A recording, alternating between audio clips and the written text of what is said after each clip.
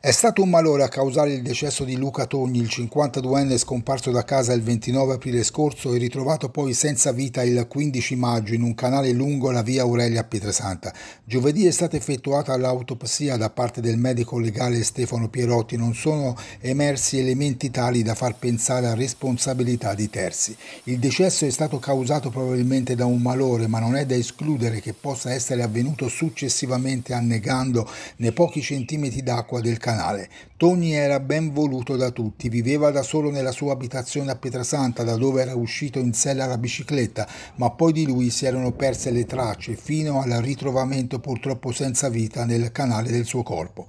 Lunedì la salma verrà trasferita all'obitorio presso la casa funeraria La Piramide, a fianco del pronto soccorso dell'ospedale Versiglia, e martedì alle 16 alla Pieve di Val di Castello sono fissati i funerali per l'ultimo saluto.